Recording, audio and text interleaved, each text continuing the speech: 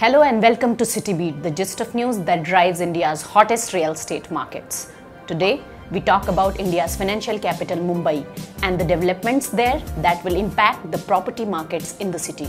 The coastal city of Mumbai is drying up gradually, and large scale construction activities are cited as the single biggest reason for this. However, the Bombay High Court has now ordered the Maharashtra government to set up a grievance redressal mechanism within six months to protect the state's wetlands. The wetlands in Maharashtra, especially along Mumbai, are increasingly being used to build residential, commercial, and industrial entities to support the state's urban expansion. To stop that, the High Court had earlier directed the state to ban construction activities along wetlands.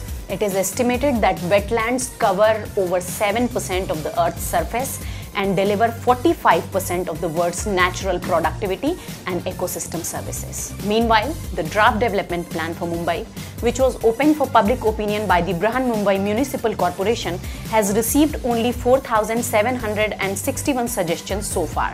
The last date for giving suggestions is July 29. An earlier version of this document had received more than 64,000 suggestions last year. A large scale opposition had seen the earlier draft being withdrawn for revision. However, this huge gap in the number of suggestions could be attributed to the method the BMC has adopted for counting this time. While the civic body had counted each suggestion separately last time, this time it has clubbed the number of suggestions that are similar on various parameters. The BMC's calculation method has drawn flag from non-governmental organizations and activist groups, which are of the view that the civic body is trying to diminish the impact of the suggestion by bringing their number down.